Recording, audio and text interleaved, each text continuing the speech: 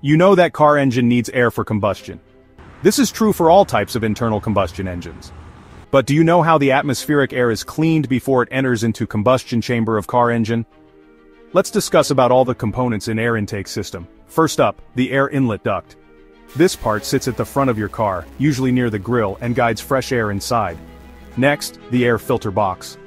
Here, a filter catches dust, dirt and debris, so your engine only gets clean air.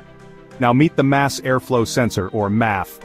It measures how much air is coming in and sends this data to the car's computer so the right amount of fuel is mixed in. From there, air travels through the intake hose, a tube made of rubber or plastic, straight to the throttle body. The throttle body acts like a door, opening wider as you step on the accelerator, letting in more air as needed. Finally, the intake manifold distributes air evenly to each engine cylinder, ensuring smooth power and efficiency. Some cars also have a resonator box to reduce noise, or a turbocharger for extra power, or a supercharger, but these aren't found in every vehicle. For off-road vehicles or heavy machineries, one pre-filter is used to tackle the harsh dusty environment. This is just a quick overview of the components. Please have a look at my already posted shorts for more insights, please like, share and post your comments, subscribe to this channel and stay tuned.